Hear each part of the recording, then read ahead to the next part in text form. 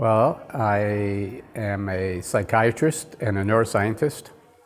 From the very beginning of my career and training as a psychiatrist, I was interested in understanding how we think from both a brain perspective and a cognitive or subjective experience perspective. So even when I was in medical school, I, I, took a wonderful elective small course from Oliver Sacks. I don't know if you know who he is, but he's a quite well-known neurologist writer about trying to connect the brain with and brain function and brain abnormalities with deep aspects of human experience.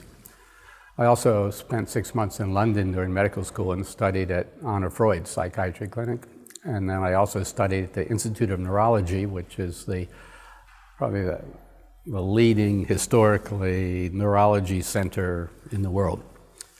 And I thought these two things are hard to put together, thinking about us in terms of our brains and thinking about us in terms of our cognition, our subjective experience. So the best thing to do is for me to learn about both these things fully and deeply as a believer and a student in both and see what happens if both of these sets of knowledge are in my brain and mind for 35 years and see what sort of understandings you know might evolve from that.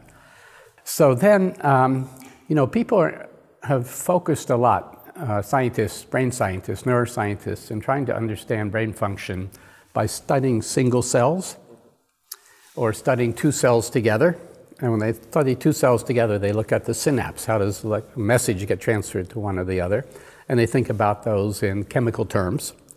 And then a lot of our interventions for treatment then become drugs that are going to alter that chemistry there. Now, when they study single cells function, they study single cells in mice and rats. And they assume that the function of the single cell in a, mouse or a rat's brain is very similar to the function of a single cell in the human brain. And I agree with that. But if the single cells are the same, how come our brains function so much differently and that we have all these capacities that you know rats and mice don't have? It's not because of a single cell. It's because of the number of cells we have in our brain and the ways they're interconnected. So it was clear to me that these neural networks involving hundreds of thousands or millions of cells distributed all through the brain are the basis of our emotions, our thinking, our memory, our attention. Not any single cell, not some single location in the brain, and not what goes on just in the chemistry between the two cells, but in these big networks. Next question is what creates the connections between the cells that make these big networks? And the critical answer is that it's not determined by genetics. The connections between the cells that create the networks responsible for what we consider human functions are created after birth by stimulation from the environment. So then it becomes an interesting question about the environment. Humans are the only animals that change the environment that changes their brains. Sure. Rants, uh, uh, ants make nests, you know, beavers make dams. That's about it. But look around here. Humans are raised almost exclusively now, at least in our part of the world, in human made environments.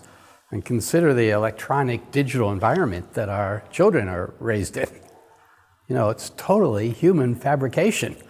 It's not what nature uh, was like when humans were evolving 100,000 years ago.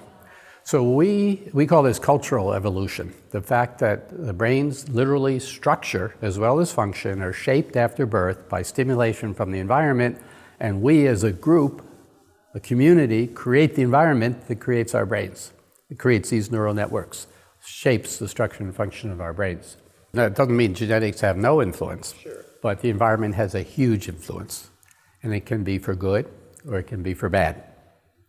So, a number of us started about 15 years ago seeing if we could harness his brain's neuroplastic potential to address problems. I started first with cognitive problems in people with psychiatric illness. How can we, because we had no medications that could help that.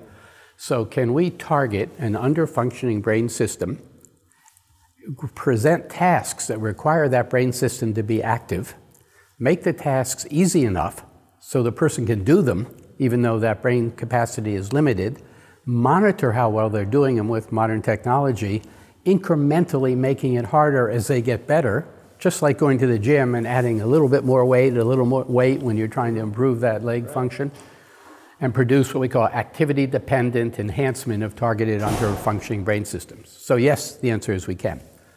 So, then about six years ago, I said, why not apply this to actively developing brains of young children? and use the technologies uh, that we had developed for web-based, computer-presented cognitive training games, try, cognitive training exercises disguised to look like computer games. And um, then as I looked into it a little bit more, it became even more interesting. There are three cognitive operations, three cognitive skills, attention, self-control, and memory, that predict learning ability, math and reading scores, more powerfully than IQ. We call those executive functions. There's a suite of cognitive operations. Teachers aren't surprised. We have a quote from a teacher that says, we are, I'm expected to get kids to learn all this content material, but they can't sit still in their seats. They don't pay attention to what I'm saying, and they don't remember what have, I'm trying to teach them. Attention, self control, memory, more powerful predictors than IQ of academic achievement. Another body of research says that poverty compromises exactly these cognitive skills. So kids raised in impoverished environments don't get the type of stimulation, whether it be talking from their parents, reading by their parents, uh, educational toys, taken to educational, like the wonderful museum, children's museum in Indianapolis. They don't go there. They don't get that stimulation. They get bad stimulation, some of them exposed to trauma. They get exposed to lead. They get exposed to secondhand smoke. They don't necessarily get the, the best nutrition and sleep. They come to school without having developed these cognitive functions essential for learning through no fault of their own. They're put in a situation where demands are made of them that they're not neurocognitively prepared to meet. And it sets off this deviant developmental trajectory, poor self esteem, by the student, the child, doesn't like going to school. And we can show, it's a great point, we can show, uh, not me, other scientists have shown, comparing activation in the parts of the brain connected to attention and language, they compared at nine months of age children from poverty and children from affluence.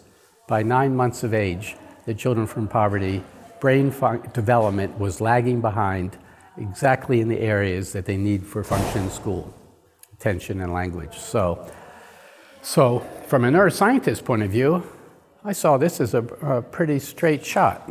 We know that these cognitive skills predict academic, academic outcome. We know they're compromised by poverty. So we're going to intervene and improve those cognitive skills. We're going to harness the brain's neuroplastic potential, activity dependent enhancement by designing these cognitive or brain exercises have the kids do them, and promote development. I call it a school lunch program for the brain. We give kids who don't get enough food to eat, but can come to school, enough nutrition, they grow faster and catch up to their growth potential. We're giving the brain of these children stimulation that it didn't get before in an intensive, focused way, and it works. So we have shown that those three cognitive skills are improved and that it translates into better performance on the standardized proficiency exams. And Evansville is a pretty remarkable school district. I've got to say that. Um, you have a, a, a, director of neuroeducation. I haven't found that anywhere else in the country. So that's Susan Phelps. So she knows about the importance of understanding brain function and development to understanding learning and brought our program to your school. Now, the other dimension of our program is physical exercises. Now, physical exercise is just good for people. It improves brain or increases brain neuroplasticity. But we took it a step further. We designed physical exercises to do in the classroom that involve cognitive function. They involve attention, self control, and memory. So we're engaging these same brain systems that we engage in the computer exercise. We're engaging when the kids do physical exercise, but now in the context of whole body activity and social interaction, they're exercising these same neural circuits that uh, support these essential cognitive skills. And we've made it into a series of exercises, a curriculum, progressive series. that gets more and more challenging as the kids get better and can be adapted for different ages to do in the classroom. Three to five minutes during the day, no special equipment, no having to go to the gym classes, which unfortunately don't exist in many school schedules anymore. And so that's our program. Uh, that's why I'm here today. I'm here to train a new batch of teachers. That's it. We understand what, what the problem is so we can address it and we also, another key element, we measure the problem. If you can't measure something, you're a little bit lost. You can't see whether what you're doing is working. You don't know how bad the problem is. So we built in research quality tests of attention, self-control, and memory, automatically administered in the classroom setting where the kids have to learn. To get tests like this, frankly, honestly, for a, neuro, a private neuropsychologist, costs $3,000 per child. Rarely do schools get them, and if they do, they do it once. And you're planning whole, several years of education on a one-time assessment. They're essentially free with our program. And we actually do the assessments not in a private office, in quiet setting, one-on-one with an adult, but in the classroom where the kids have to learn. So that's the other thing, to be able to measure is very important. But it is complicated and difficult for schools to be adaptive and, you have a, uh, and to adopt new things. And you have a leadership here that's committed to that. And I just was learning about it earlier today with, in a nice meeting with your superintendent.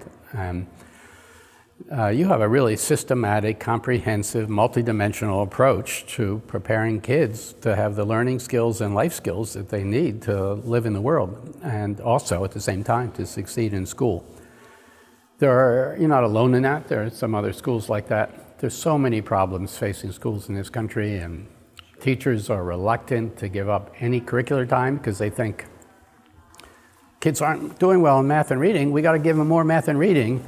We say to them, you can't pour water into a jar when the lid's closed. Right. You keep trying to pour. There you say you're not learning math. What are you doing? We're giving them more math. They're not learning reading. We're going to give them more reading.